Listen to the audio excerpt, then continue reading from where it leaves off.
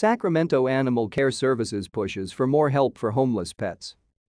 The pandemic is breeding another problem of more pets living on the streets. The growing number of homeless pets is now pushing shelters to their limits. That's why Sacramento Animal Care Services is pushing for a new team dedicated to getting them the care they need. They're not just street animals.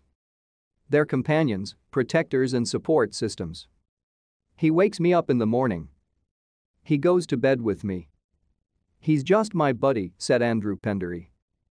Pendery owns a one-year-old dog, Elvis, he calls his constant companion. To stay up to date with latest top stories, make sure to subscribe to this YouTube channel by clicking the button above this video.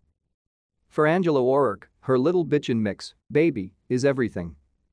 When I don't want to get out of bed, just taking care of her helps me to get up and be motivated to try, said O'Rourke. Sacramento has seen a growing number of homeless pets since the pandemic started, which is stretching resources thin. Animal Care Services wants a designated team focused on homeless pets.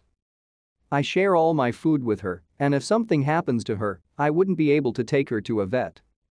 So if there's something going on that helps with that, then that's amazing, said O'Rourke.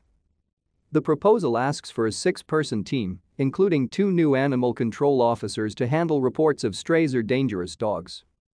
It also calls for a community coordinator to point people to resources and assistance, plus additional veterinarians and registered technicians to help at shelters.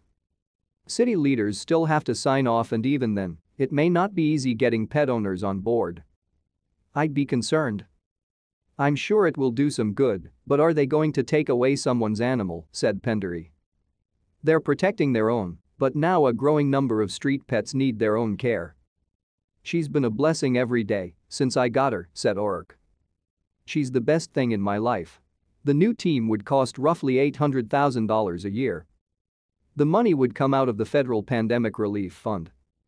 The city takes up the proposal at its next meeting scheduled for Tuesday.